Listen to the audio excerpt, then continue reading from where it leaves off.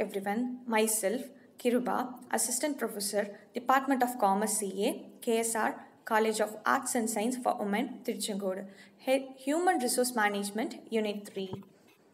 Training, meaning it includes various tools and instructions and activities to design, improve employees' performance. It is an opportunity for employees to increase their knowledge and upgrade their skills.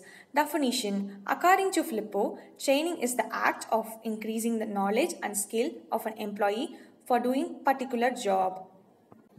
Need for training to improve the efficiency of employees, to have a quality output, to bring down the supervision, to achieve the optimum performance, to build a career by personal growth, to prepare a workforce for the future challenges work. Methods of training. On the training methods, job rotation, job instruction, coaching, committee assessment. Off the job training method, case study, incident method, conference.